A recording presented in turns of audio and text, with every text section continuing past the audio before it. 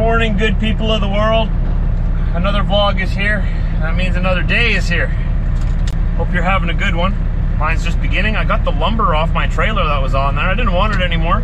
Weighing me down, so I left it here in Minnesota. The nice people in Wadena, or is it Wadena? I still don't know how to say it. Minnesota. Now we're headed down to Shakopee, Minnesota, which is part of Minneapolis. We're gonna pick up some shingles and we're gonna bring those home.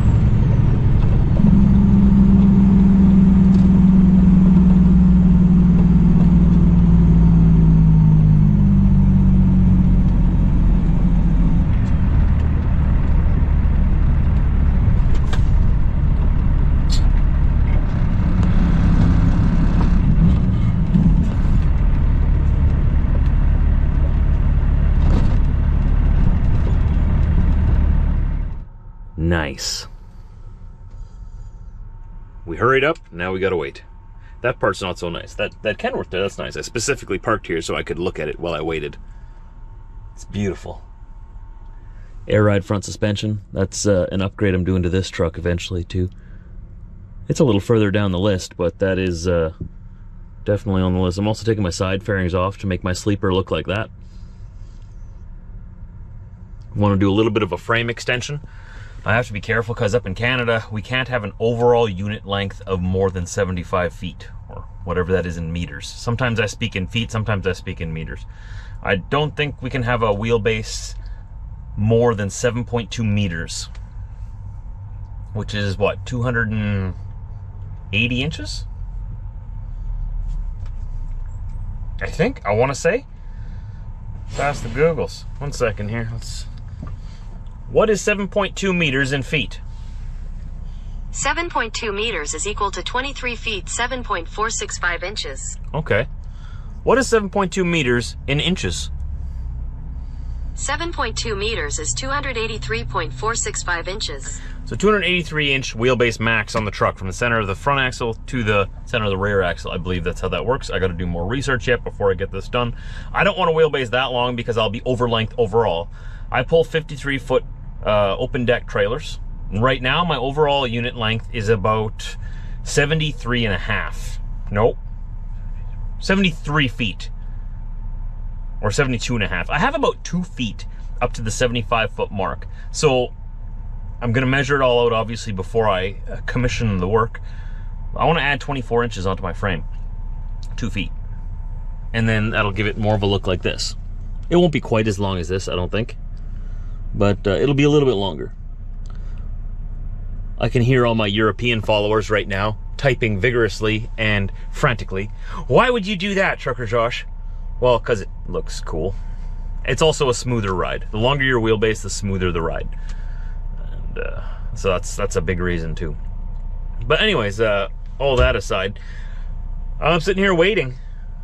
My appointment was for 3 p.m. My original appointment this morning was at 10 a.m. But with my delivery out in Wadena taking a little longer than I wanted it to, uh, I couldn't make it for the 10 a.m. appointment, so we called and we rescheduled. We rescheduled it for 3 o'clock, which was very unfortunate because that's pretty late in the day. I wanted to be home tonight yet. But I figured, whatever, I'll get here 3 o'clock. I'll be loaded and maybe out of here by 4 or 4.30. Huh? Huh? no, there's like 10 other guys here that were hoping for the same thing. and they all got here before me. This is a pretty big place. I think they're loading one, two, three guys, four guys. Oh, five. Five trucks at a time, at least. There might be more around the corner that I can see. So they're loading five trucks at a time. So technically, it, it should be soon. It shouldn't take too long. So once I get loaded, it's very easy to tie it down. And then we're just gonna book it back. It's gonna be tight. To be honest, it's gonna be tight to get back tonight. As long as I can get to that border, over the Canadian border, I get a few extra hours added on Canadian hours of service, and I can get to our yard. And then I can sleep there, and I have to deliver this load into Winnipeg first thing tomorrow morning, go back to our yard, get rid of my trailer, and bring this truck in to get serviced. The place where I get my truck serviced at is PBX in Blumenort. Uh, they have excellent service there. Their shop is excellent. I've, I've, been very happy going there. And once I find a shop that uh, treats me really well and that does good work, I, I, stick to them like glue. They can't get rid of me. And they, they haven't screwed up once. So they've actually caught a few things too that I didn't even know needed to be looked at. Because I look over my truck every day. They look over it as well. When they do my service, they go over the entire truck and see if there's anything else that needs to be done. It's in their best interest because they also want to make money off anything that might need to be done on, on top of the service, obviously. But they're not going to do any work without me giving the permission for it, right? So they're going to go over my truck, see if there's anything that needs to be looked at soon, make a little list for me, and then I, when I get the list, I can look at it myself and be like, eh, we can wait till next time for this. Uh, we should do this. Uh, you know, that way there's more eyes on my truck than uh, just mine. The more the better, because I, I, I could miss things. You know, uh, my heated mirrors weren't working for for uh, an example last year. It was summertime. I didn't know they weren't working. I don't use them in the summertime. I don't use them. I use the mirrors. I don't use the heated part of them. They noticed that my heated mirrors weren't working, so I got them to fix it before I would even need it. Because the only way I would have found out is once they iced up in wintertime and then they didn't heat up and defog so that I could use them, right? And then I'd be without mirrors until I get them fixed. That's not good. So they, they found that for me. I appreciated that, and they, they earned my business. I also like to support local as much as I can and support the uh, the businesses in my area as much as I can. Not every business in my area has earned my business, but uh, the guys that service my truck sure did. They uh, they've gone above and beyond for me every time, and they're very friendly. Oh, are they? Is he gonna pull me? Oh, oh, oh, oh, oh! That was disappointing. The forklift driver came, I think he thought that I was the truck he was looking for, came right up to my nose, uh, looked at my truck for a while, looked at his paperwork, looked at his truck, and he drove away. Shucks. Got my hopes up, bud. Anyways, hopefully we'll get loaded up here quick and we'll be on the road. We're gonna make, be making a beeline. I wanted to be home tonight, like in bed with my wife, and waking up tomorrow with her and having breakfast with her in the morning. Oh, hey, buddy Mike's here. Check this out. There he is. I'm not the only one. Cool. All right, I'm gonna focus on uh, paying attention here. Hopefully I'll get loaded soon and we'll chat once I'm out of here. And the race is on.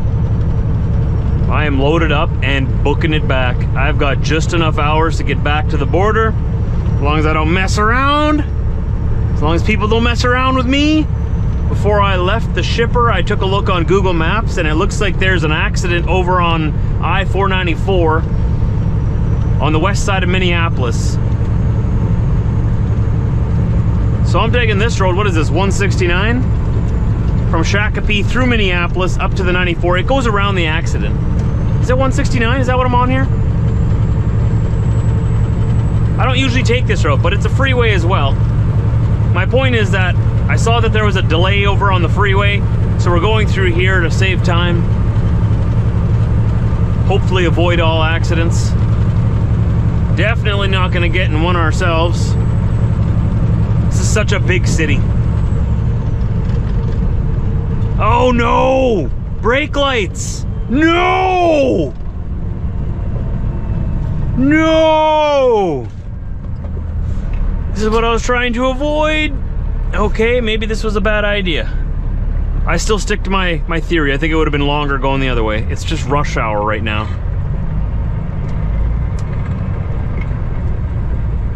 Okay, we're okay. We're okay. Don't panic. Don't panic. I'm not panicking. You're panicking. Stop panicking. We don't have too very long to spare at all. Like, I don't even think I got time to stop and fuel.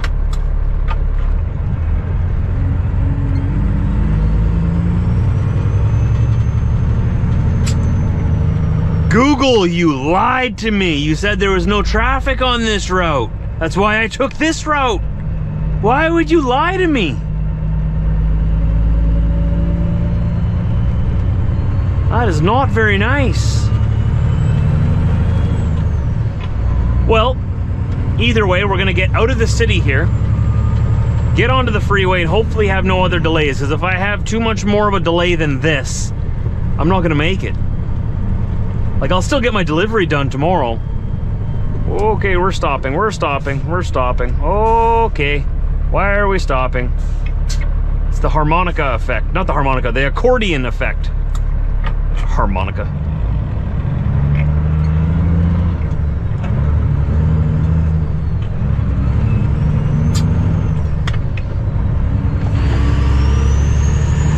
If it's this bad on this highway, imagine how bad it is over there.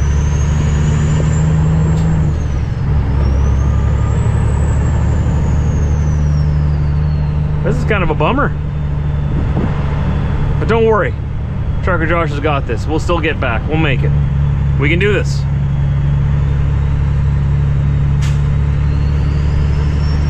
We're just gonna stay focused and I already ate supper, so I don't need to stop to eat. I've got water right here. All I need is for everyone to get out of my way. Why are you stopping again? Why are you stopping? This traffic accordion. Yeah, we're on North 169 here. That's that's what it is.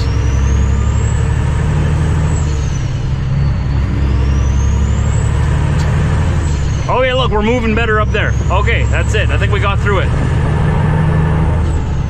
What is everybody doing on the road? Go home.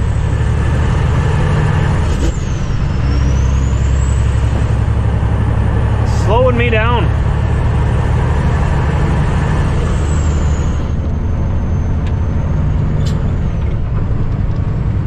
Do any of you live in this area? Did I make a poor choice taking 169? I came from Shakopee. So that's on the southwest corner of Minneapolis. And you could take the 494 up the west side, but you could also take the 169. They're both freeways. But during rush hour, did I make a mistake here? Because if I did, I'm not going to do this again.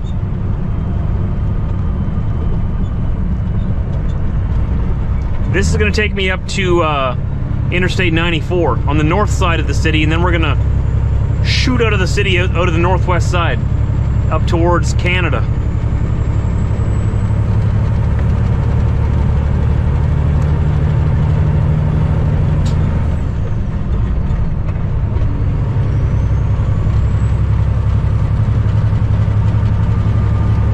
I like this. Let's keep this up.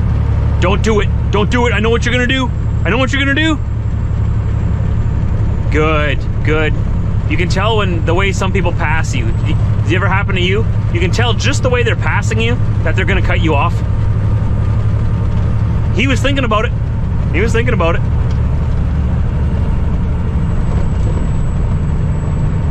They sort of give themselves away because they sort of pass you a little aggressively. Sometimes they like pop out from behind you really quickly into the next lane. And if not, they'll pass you really quickly and then they'll come right to the front of your bumper and hesitate for a second or two.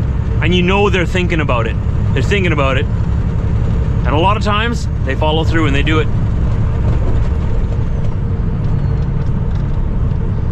So I'm sitting at a gross weight of 77,900 pounds. So it's in everybody's best interest to stay out of my way and get off the road. Trucker Josh needs to go home. And he's real fat right now.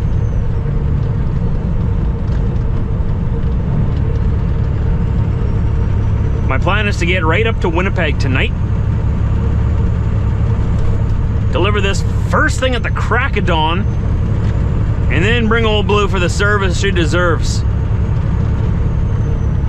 Gonna change your oil, gonna change your filters. Oh well, we're gonna give her the, gonna pamper her a bit, give her the first class treatment.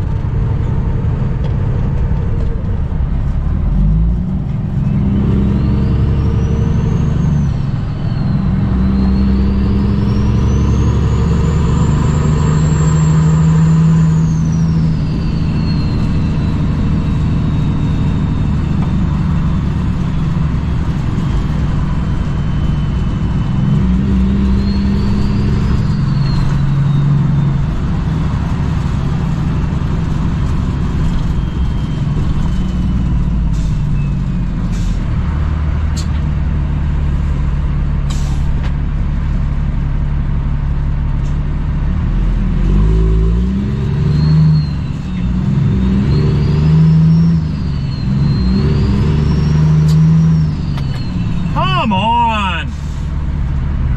Oh, that's frustrating. Stop, go, stop, go, stop, go, stop, go.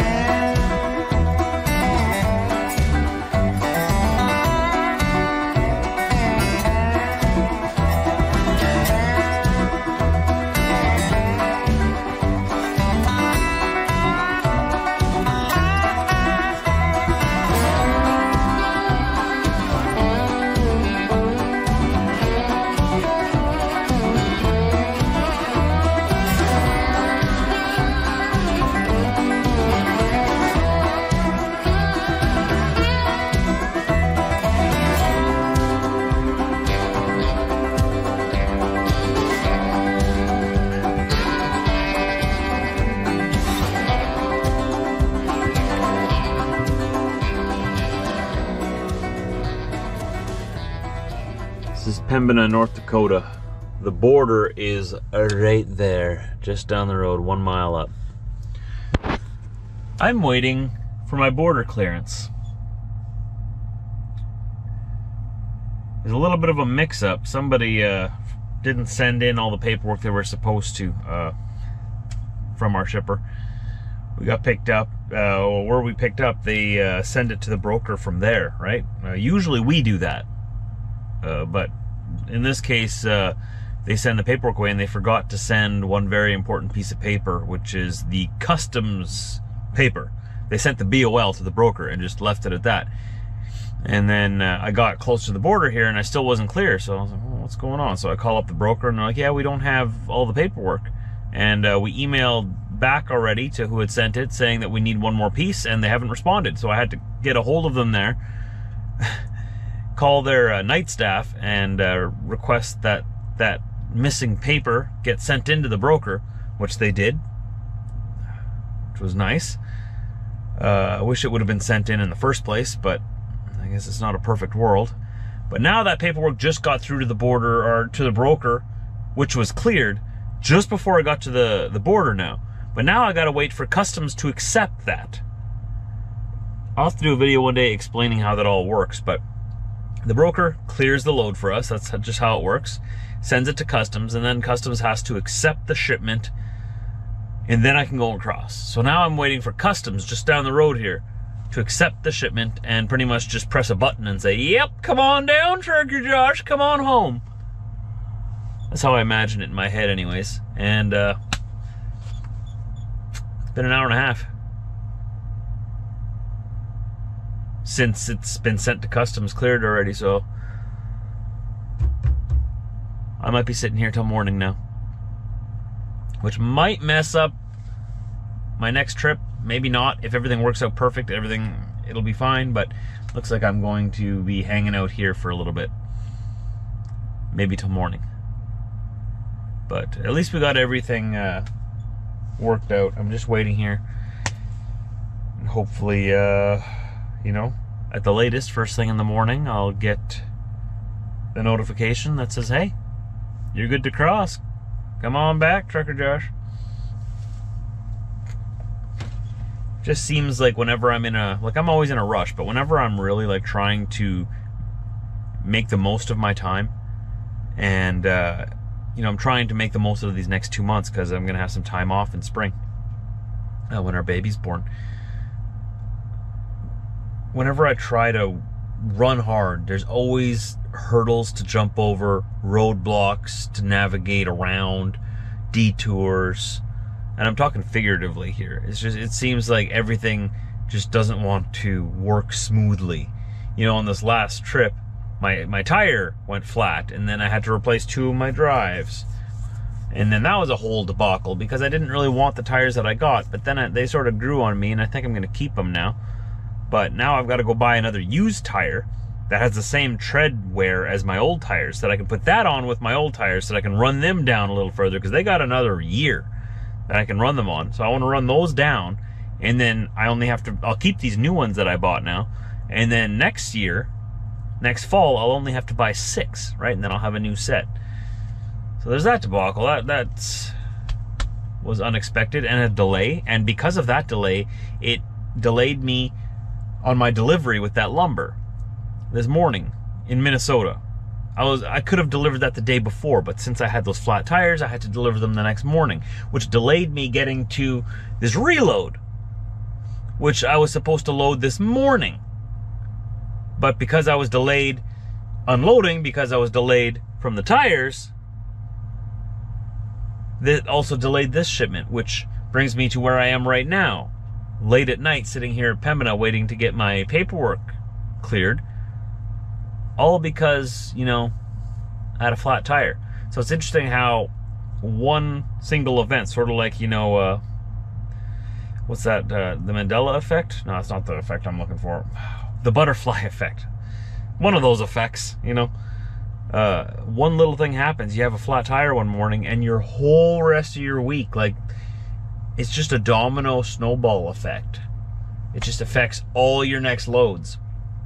So I'm hoping that we can break this chain and and stop this av- this snowball from turning into an avalanche. If I can get to the yard tomorrow morning I'll have enough time to get a reset before I leave on my next trip, which is already booked in. And if this delays me too much further, it's going to delay that load too, which means I might lose that load because that one has to be on time. But if I can get back to the yard tomorrow morning with enough time to get a reset before I have to leave on the next load at a good time where it'll give me enough time to get to my customer on time. Is this making sense to you? I'm tired right now. I know. I'm trying to make sense we might stop this from becoming an avalanche if I can just get back. And I'm sitting here waiting for this to clear. But uh, so far, I think I should just head back there and take a nap. I'm just worried because I have some hours left on my clock. If I get cleared now, I can book it across the border and I'll have extra time, right? On Canadian hours of service, and then I can make it further. I'd like to go now but uh, I'm worried that if I go back there and take a nap, close my eyes, that I'm not going to open them until morning. And then, you know, there's no hope to stop this snowball domino effect. It's going to affect my next load then. But not meaning to sound like I'm complaining, I'm just uh, venting a little bit here. And also trying to give you the good uh, give you the perspective of what the lifestyle is actually like. Some people want to get into trucking. They want to know what the lifestyle is like. It's not a good day every day. It's not fun every day. There's a lot of delays. There's a lot of headaches. But through all of that i still love what i do i don't want to do anything else It doesn't mean every day is going to be a perfectly awesome rainbow sunshiny day this is one of those days and this has been one of those weeks where everything just keeps getting because of one thing, because of one flat tire. It's sort of messed my whole week up. But we'll get back on our feet. We'll get our head screwed on straight again. Tomorrow's another day, and next week is another week, and it'll get better. So thanks for watching today, everybody. Thank you for listening to me. I appreciate that. I like being able to vent a little bit and talk to you guys about the realities of what we deal with out here. We'll see you tomorrow. If you did like my video, feel free to hit that thumbs up button. It gives me a big boost in the algorithm. If you didn't like it, like usual, hit the dislike button twice.